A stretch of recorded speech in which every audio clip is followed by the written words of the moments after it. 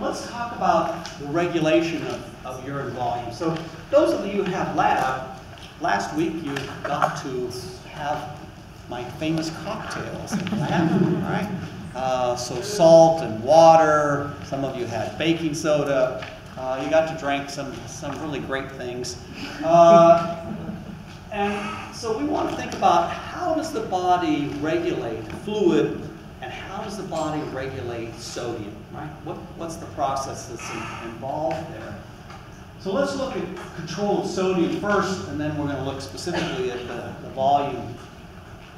If we think of the, the sodium, uh, how much is going to be excreted, we can write a very simple equation. We can say that the sodium excreted equals the sodium filtered minus the sodium reabsorbed. Right? So what you dump in, the filtered, minus what you pull back, that's going to be the stuff that's excreted, right? That's going to show up in the urine. Sodium filtered minus what's reabsorbed equals sodium excreted.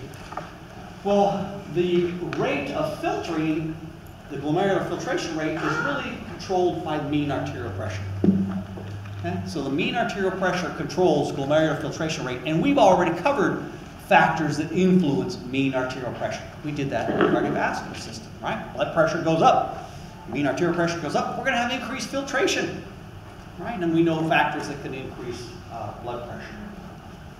So that, the filtered part, is fairly constant. Really more important to us is the sodium that's reabsorbed. How do we control the sodium that's going to be reabsorbed? And it turns out that the reabsorption of sodium is controlled by a process that we talked about before, renin, right? The renin mechanism, renin, angiotensin, aldosterone, right? We, we've been there.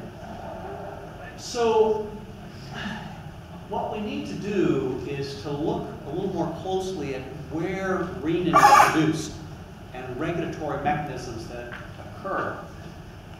So in this diagram, what they're doing is they're saying, okay, here's the afferent arteriole, here's the efferent arteriole, and not like what I've drawn or normally you see, but if you look closely, you can see the distal convoluted tubule is actually very close to the afferent arteriole. And so here it is magnified, right? So there's Bowman's capsule, there's the afferent arteriole, here's the distal convoluted tubule, and if we look closely, it turns out that the distal convoluted tubule has some specialized cells called the macula densa cells. Some specialized cells called the macula densa cells. And between the, the distal convoluted tubule and the afferent arteriole, there are some other cells here called the juxtaglomerular cells the juxtaglomerular cells, oftentimes abbreviated as JG cells. Juxtaglomerular, what do you suppose that means? Near the glomerulus, juxta, right, means near. So near the glomerulus. So these specialized cells, the juxtaglomerular cells, uh, are actually responsible for making uh, the renin. Sorry, what did you say the macula densae do? I haven't said yet. It turns out that those macula densa cells are going to be monitoring amounts of sodium that are in the distal convoluted tubule. Okay.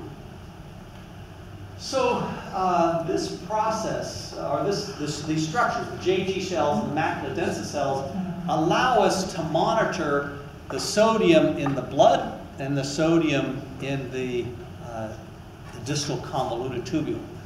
When sodium levels increase in the, the blood, the amount of renin released will be decreased. Right? So sodium levels are going to go up. We're going to decrease the amounts of renin.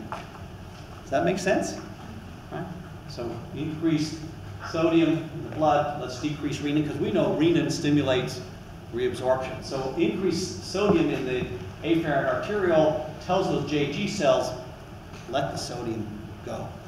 When sodium levels start to rise in this area of the macula densa, they can tell the JG cells to increase their release of renin to try to bring more sodium back. So what about regulation of water? What about the regulation of water? Those of you in, in lab, right, you drank water. You drank water with salt. Some of it was an isotonic solution. How do we regulate the volume? And it's not too hard to figure out that if you drink a lot of water, you urinate a lot. You don't drink much water, you don't urinate much, right? Well, one of the factors that influences this are some cells that we talked about in the hypothalamus a long time ago, osmoreceptor cells, right? So the hypothalamus has osmoreceptor cells that are there to help regulate the osmotic concentration of our blood. If the osmotic concentration starts to go down, you've got too much fluid on board, you're not going to release as much ADH. Remember antidiuretic hormone? And so you'll let the water be lost. But if your osmotic concentration goes up, ADH levels will increase, you're going to pull more water back. Right? We kind of went through this before when we were talking about the, the hypothalamus. So those of you that drank the really salty solutions, not only did you not produce much urine, you got really, really thirsty, right? Because the hypothalamus was saying, whoa, right? Osmotic concentration's going up. Let's hang on to as much water as we possibly can. What goes on to make, make the feeling in our mouth of thirst? Know somebody's pro- question is what, what causes that sensation in your mouth. Somebody's looked at that. I have to say, I don't know. Maybe it's not known. I, I just, I don't know what causes the sensation, but it's certainly what we equate to thirst, right? Some of it's got to be osmotic. The mouth gets dry, but I, I don't know the, the actual sense mechanism. Um, well, we need to look at how we reabsorb the water. We need to look at something called counter current systems. Okay, counter current systems. How is it that we can bring back the, the water from our forming urine? And it turns out when we look at these systems called counter current systems, we find that these are common systems found in the animal kingdom. Right? Having counter current systems. They're certainly found in the kidneys, but they're found in other areas of the body and, and other organisms as, as well as just in the, the kidneys. Uh, one example that I can give you, just in terms of trying to think of countercurrent systems, is to think about a, a duck's foot for a minute.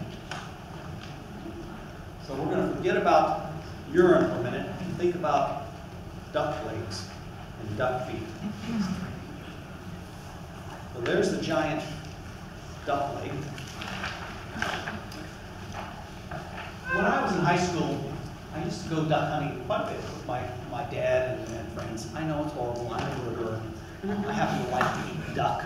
Um, so we would go out, uh, ungodly hours in the morning, get up three or four in the morning, go out and uh, sit in these duck blinds. It was freezing cold, ice oftentimes on the edge of the ponds, and you would see ducks out in the water swimming around. And I would see these ducks out there swimming around, and I used to think, gosh, how come they don't freeze to death, right? If I sat out there with my legs in the water, I'm going to get hypothermia and die. And ducks actually have a warmer internal body temperature than you and I. And it's like, I wonder how they do that. It wasn't until I got to college that I actually learned how it is that ducks are able to keep their legs in that water. And it's because they have a counter-current exchange system. So if we look at how the duck's leg is set up, we find that the artery coming down to the foot is right next to the vein that brings blood back from the foot. And that is a very efficient counter-current exchange system for heat. So that as the artery goes down into the foot, heat is lost to the venous blood that's coming back that's cold. So as we go down, the arterial blood gets cooler and cooler and cooler, and as the venous blood comes back, it's getting warmer and warmer and warmer. So there's actually very little heat loss to the environment because of this counter-current exchange system. We have similar systems for our feet, nowhere near as efficient as for a duck. But for appendages, we do the same thing, right? Arteries and veins are pretty close together when you start looking at those things in anatomy. Um, In a camel's nose, they have a counter current exchange system for moisture, for water, in terms of, of water vapor, so that when the dry desert air comes in, it's moistened by the air that's going to breathe, be breathed out during the next expiration, so that they don't lose a lot of water vapor in what's going out, and they moisten the air that's, that's coming in. So these are, are common systems, these counter current exchange systems. The kidneys have something that we call a countercurrent multiplier system that can multiply what occurs in this exchange system. That's what we want to look at here. Uh, first, then we'll talk a little bit more about the exchange system. So, if we take a look at what's occurring in the loop of Henle and proximal convoluted, uh, proximal and distal convoluted tubes, this diagram is trying to show you that the filtrate that's coming into the top of the ascending limb of, of Henle is 300 milliosmol Where have we heard that number before? Do you remember this? Isotonic, right? So it's isotonic. And as that fluid goes down into the, the descending limb here, water is going to be reabsorbed by osmosis. Okay? Water is going to be absorbed by osmosis. So this is water permeable. When we get down to the bottom of the tip of the loop of Henle, look what's happened to our osmotic concentration. 1,400 milliosmol, almost five times more concentrated. How did it get so concentrated? Because we pulled water back, right, by osmosis.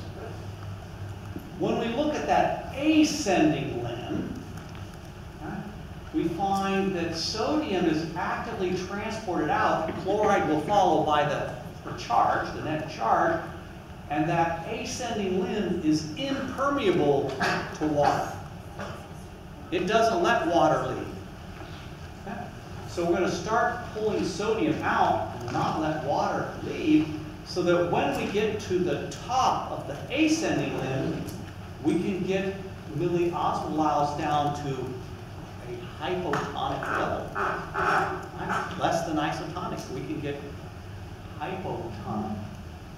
Let's look at other diagram here. So this diagram is trying to show you that the descending limb allows water to leave, but there's no active transport of sodium.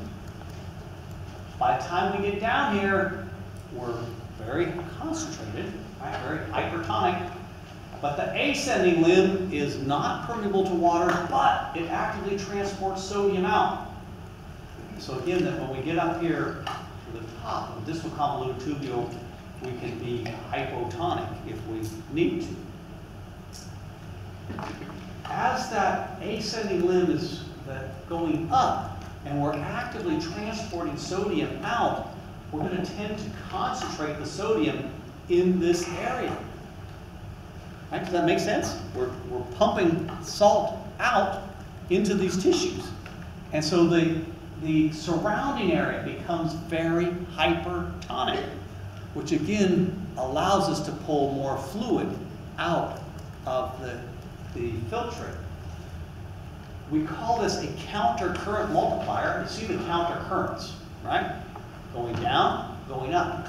It's a multiplier because we're actively transporting sodium out and concentrating it into this area. So instead of like my duck leg, where it was a passive process, right? Heat was just moving from warmer to colder. Now we're actively transporting sodium and causing it to build up in this area deep inside the medulla.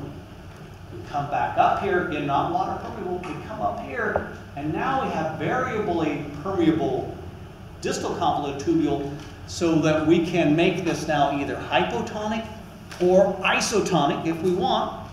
But here's the, the real crux of it, if you will. We go into the collecting duct, and let's say that we're at 100 milliosmol As the collecting duct passes back down through this area of the medulla, this area is controlled by antidiuretic hormone. And if we need water, if we need to pull water back because our plasma is hypertonic, we can release ADH and we can make our urine go to a concentration of 1400 milliosmolar. If you don't need water, you don't release ADH, and we can leave with a hypotonic urine. Let's look at this uh, another way. Fish that live in fresh water, they don't have a problem with holding on enough water. Their problem really is the opposite, right? They got too much water in their environment. So they can just produce a diluted urine all the time. But once animals started to become terrestrial organisms and leave the water, the kidneys had to evolve to some process that would allow us to hold on to water so that we didn't have to have fresh water all the time. You had to be able to concentrate your urine. This countercurrent multiplier system allows us to concentrate.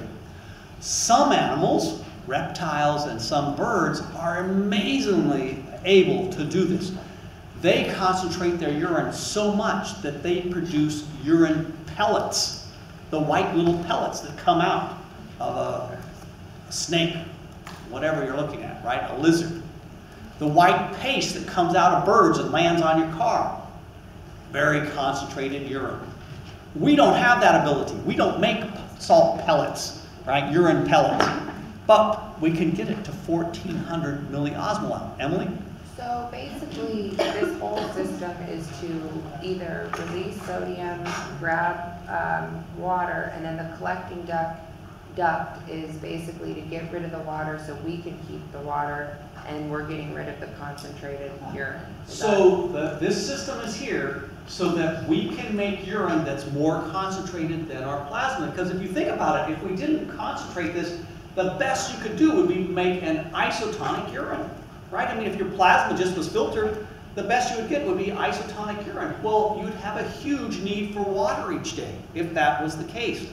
By having the countercurrent multiplier system, we can concentrate our urine down to 1400 milliosmolar. Not as good as reptiles and birds, but pretty darn good.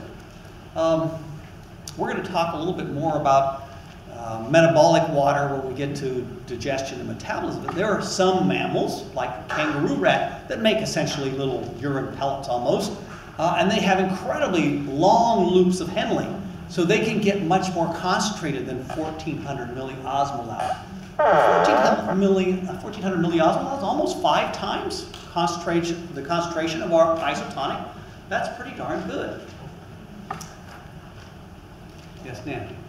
I know from my nephrologist that that's not good. Like it's, it's really, you're supposed to drink, Well, it's, so, is this good or bad? Well, it's really good that, so that you can be away from water. Is it great to make your kidneys work that hard all the time? No. You want to drink extra water to allow the kidneys not to have to work so hard, pulling that back. But it allowed humans to get away from fresh water, right? So that we don't have to stand by the fresh water. Now we can carry our water bottles, but didn't used to be that way, right? So you might go out for a day's hunting and come back and drink in the evening, right? So that you could get away from, from, from that.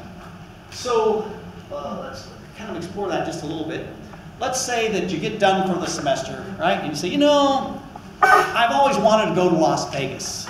So you decide to go to Las Vegas, and you don't care that it's summer. You're driving down there, you're driving along with some friends, and say, oh, look, there's a sign that says there's some special caves out at some miles off of this road. Let's go look at those. So you drive out there, it's wonderful. You come back and you realize that you left your lights on, right? Your battery's dead, and now it's 35 miles to back to the road. You don't have any water with you, right? And so, but you have some bottles. And so, one of you maybe suggests, well, maybe we should collect our urine and drink it.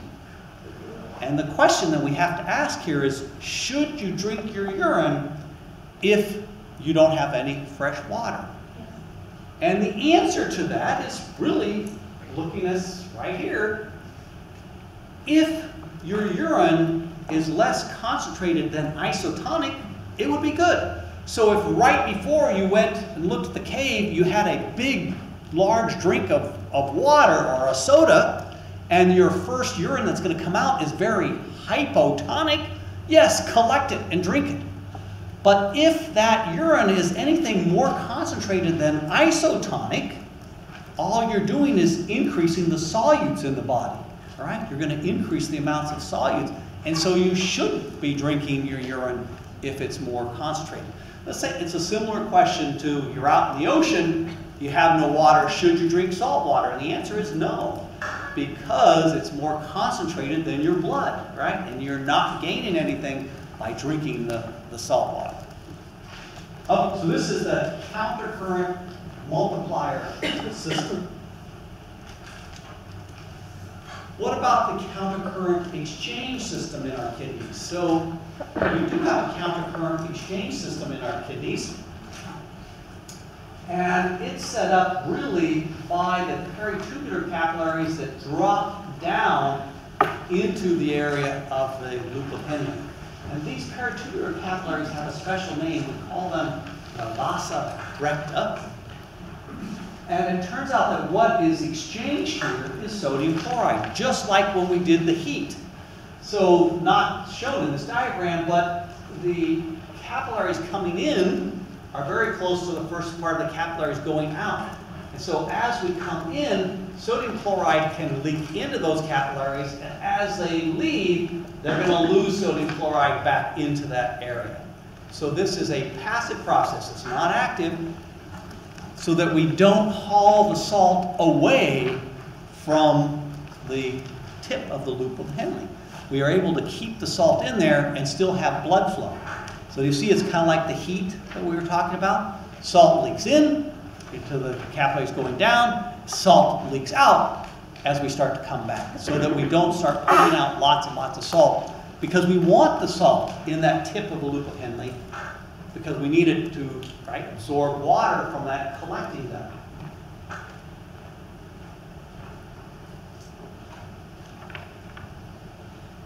Oh, what about the regulation of potassium? Right, so we looked at the regulation of sodium, we looked at the regulation of, of water. How about the regulation of potassium? Well, we know from early in the course that there are sodium potassium pumps Right? sodium potassium pumps. So that when we reabsorb sodium, we'll lose potassium. Right? Potassium goes in the opposite direction. So as we reabsorb sodium, uh, for instance, in that descending limb of the, the loop of Henle, uh, or, no, in, excuse me, the ascending limb of the loop of Henle, uh, and in the, I, the proximal convoluted tubule and the distal convoluted tubule, we pull sodium back, potassium will be exchanged so that we'll lose potassium. So that helps to regulate potassium. There's another mechanism here. It turns out that if potassium levels start to increase in our plasma, right? So if we have too much potassium in, in our plasma, that potassium can directly stimulate the adrenal cortex to release aldosterone. So we know aldosterone is controlled by renin, we know that mechanism, but here's another mechanism. Increased potassium levels can directly stimulate the release of aldosterone, and what does aldosterone do? Causes sodium to be retained, but potassium to be excreted, right? So it will cause the loss of potassium. So let's say that you started to get too much potassium. You, um, somebody put in a, a salt substitute at your table and you, you put a whole bunch of potassium chloride on your, your meal. Too much potassium can directly stimulate the release of aldosterone. You'll start to pull back sodium, which you need because that balance is critical, and you'll lose potassium. Right, so we can regulate potassium by regulating sodium. Yes? So with severe dehydration, like often you have rehydration therapies and that's how electrolytes, like potassium, is that when your body starts getting off balance? Yeah, so The when we, in severe diarrhea, when you look at the colon, potassium ion tends to be lost in large quantities. And that's why you need electrolyte therapy. And So it doesn't really have like a feedback loop, like. It does, but the body can't keep up with it. right? I mean, it's, di- I mean, if the body could keep up with it, you wouldn't have diarrhea, right? It would say, no, don't lose that. So, uh, right, it's, this is a disease state. All right, so